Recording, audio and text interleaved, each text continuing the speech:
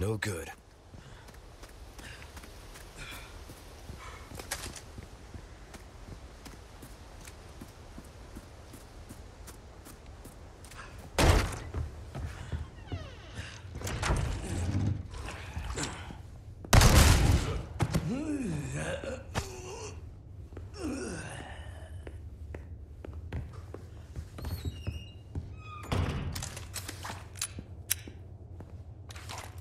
Too shabby.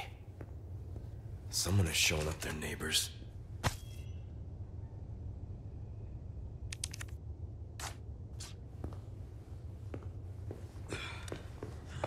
Old photos.